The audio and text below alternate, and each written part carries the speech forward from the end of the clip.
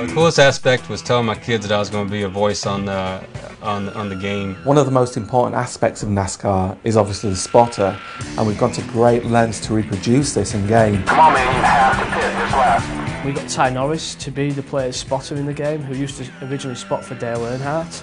Um, and that was really exciting to work with him. Your spotter's always in your ear, advising you when to pit, when to save your fuel, what everyone else is doing in the race, how it's affecting your standings. I'm really concerned about your fuel. Run low, low.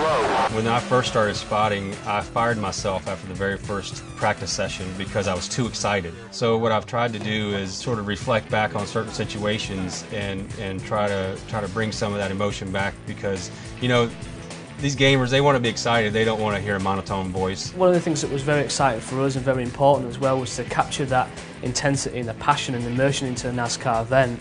We wanted the fans of the sport to feel um, like they do at the real events. So we've got the pre-race shows and the commentary from the uh, Performance Racing Network guys. Good afternoon, everyone, and welcome to Daytona. It's an absolute gorgeous afternoon. It's nice to be able to share the joy of what we do because when we hop in that broadcast booth and put on those headsets and it's time to go, there's not a better feeling in the world. That is the place that you want to be. well, the most fun was just sort of making this stuff up on the fly. The Aflac Ford flight, end over end over end. Oh, the humanity. No, I, I didn't know where I was going.